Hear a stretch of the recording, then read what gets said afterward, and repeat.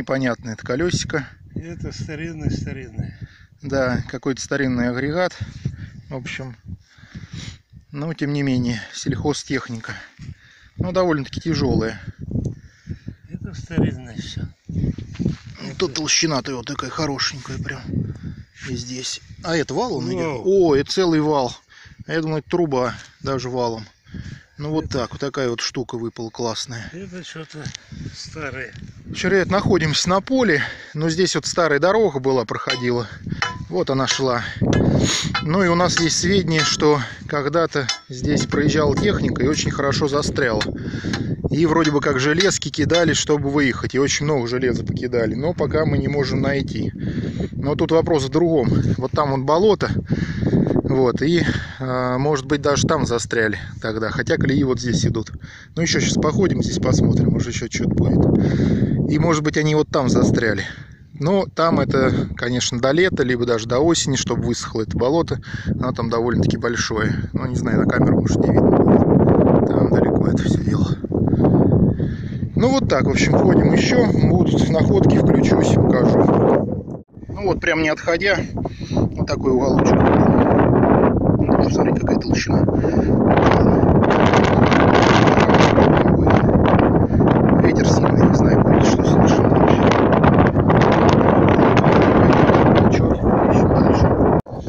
Еще одна находка.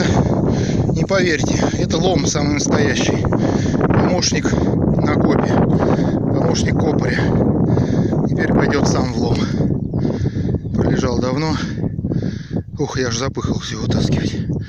Вот такая вот гадость. То есть это радость. Ребят, срочно прерываю коп. Пока еще толком ничего не нашли новое. Но там он у меня отец нашел денежку. Это невероятно. Короче, вот здесь вот мы лазим, здесь стояли очень-очень давно когда-то.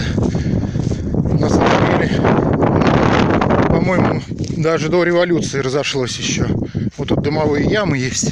Сейчас поглядим. Ну, монета, наверное, там не особенная. 20 копеек, говорит. Ну, наверное, ранние советы, может быть.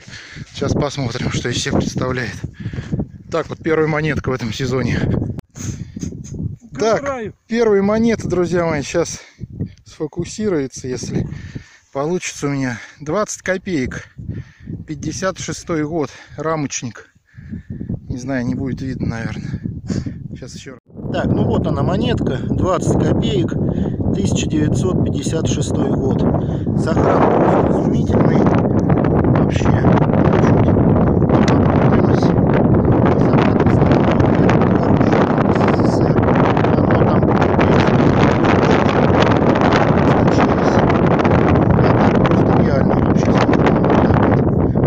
Первая монета. В сезоне будут